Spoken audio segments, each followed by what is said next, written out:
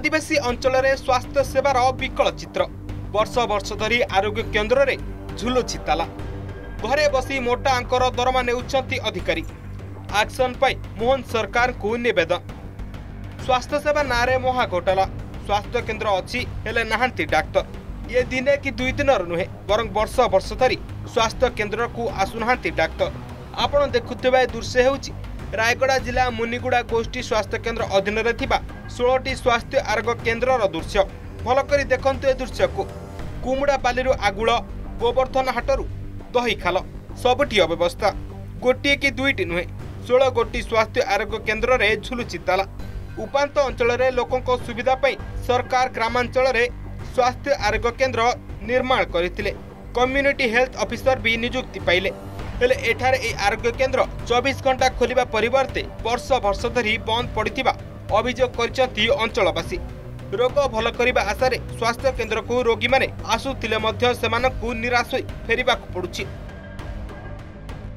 ଆଦିବାସୀ ଅଧ୍ୟୁଷିତ ଅଞ୍ଚଳ ଆମର। ଏଠି ସ୍ୱାସ୍ଥ୍ୟ ସେବା କହିଲେ ଆପଣ ଦେଖିପାରୁଥିବେ ଏଠି କେଭଳିଆ ଲକ୍ ପଡ଼ିଛି ଚାବି ପଡ଼ିଛି ଏଠି ଖୋଲା ଯାଉନି। ଏମିତି ତେଇଶଟା ସ୍ୱାସ୍ଥ୍ୟ ଓ ଆରୋଗ୍ୟ କେନ୍ଦ୍ର ଅଛି। ଟୋଟାଲି କେଉଁଠି ଖୋଲା ଯାଉନି। ଏଠି ଯେଉଁ ଆସୁଥିବା ଆର୍ କେ ଏସ୍ ଫଣ୍ଡ ରୋଗୀ କଲ୍ୟାଣ ସମିତିର ଫଣ୍ଡ ପଇସା ସବୁ ମିଲି ଭଗତରେ ସବୁ ଖାଇ ଚାଲିଛନ୍ତି ଆଜ୍ଞା। ସେ ସେ ମେଡ଼ିକାଲ ଷ୍ଟାର୍ଟ ହେଇକିରି ବହୁତ ବର୍ଷ ହେଲାଣି କିନ୍ତୁ କୌଣସି ମୋତେ ଆମର ଲୋକଙ୍କର କୌଣସି ସୁବିଧା ପାଇବାର ନାହିଁ।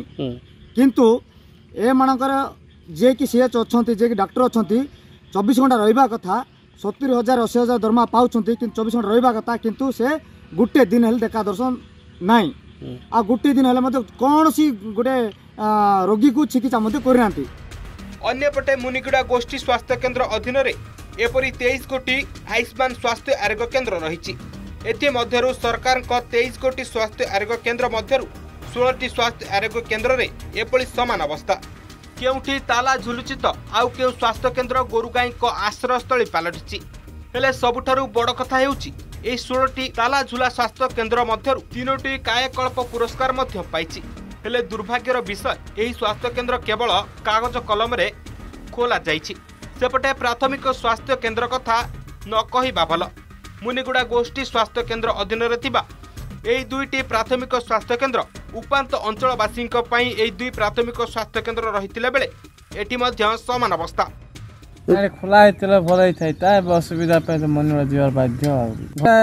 ଥିବା রক্ত পরীক্ষা করা পাই না চার্জ বসিছি চার্জ নাই মেশিন নিচে ইয়াড়ে নিচে সিয়াড়ে নিচে কিছু ইরা করবাটা না কিছু নাই খালি সে ট্যাবলেট দুইটা দিয়ে দিচ্ছি কেবে দেলে তো দৌছে কেবে খুললে খুলুছি কেবে না খুললে নাই। আসলে দশটা বেড়ক আসছি ছড়ে রই দিচ্ছি সাঙ্গে সাঙ্গে পড়ে যাচ্ছি। ସାଙ୍ଗେ ସାଙ୍ଗେ ପଳେଇ ଯାଉଛି ଆଉ ଆମେ ସନ୍ଧ୍ୟା ଯାଏଁ ବୋଲିକି କିସ୍ କରିବୁ। ତେବେ ପୂର୍ବ ବିଜେଡି ସରକାର ଅମଳରେ ଏସବୁ ଅଭିଯୋଗ ବାରମ୍ବାର କରାଯାଇଥିଲେ ମଧ୍ୟ ଲୋକଙ୍କ ଅଭିଯୋଗକୁ ତତ୍କାଳୀନ ସରକାର ଗୁରୁତ୍ୱ ଦେଇନଥିଲେ। ତେବେ ବର୍ତ୍ତମାନର ନୂଆ ସରକାର ଆସିବା ପରେ ଲୋକଙ୍କ ସମସ୍ୟାକୁ ପ୍ରାଧାନ୍ୟ ଦେବା ପାଇଁ ଅଞ୍ଚଳବାସୀ ଦାବି କରିଛନ୍ତି। ବିଷମ କଟକରୁ ଗୁପ୍ତେଶ୍ୱର କୌଶଲ୍ୟଙ୍କ ରିପୋର୍ଟ ଅର୍ଗସ୍ ନ୍ୟୁଜ୍।